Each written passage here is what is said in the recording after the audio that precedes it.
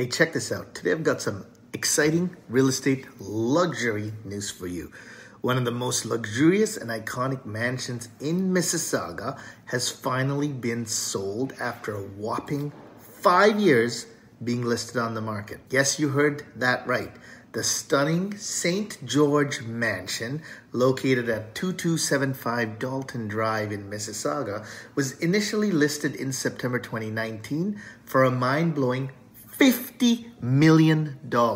50, 50. The home sat on the market for years until it went through several price reductions. First, they cut it to 29.9 million, then they cut it to 25 million, and finally it was listed for 20 million dollars in September this year. After all that time, the mansion sold just a few days ago for 17.1 million dollars. But what makes this home so special? St. George Mansion is 25,880 square feet of pure luxury.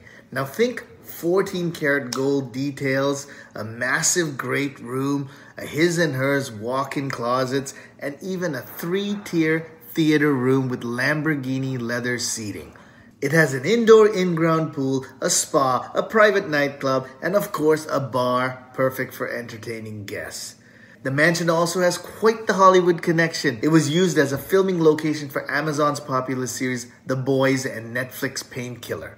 In fact, if you've seen Painkiller, you've recognized uh, this home as the lavish home of Richard Sackler, played by Matthew Broderick with St. George's Mansion now sold, the title of Mississauga's most expensive single family home goes to another beauty on Blythe Road, which is currently listed at $20 million.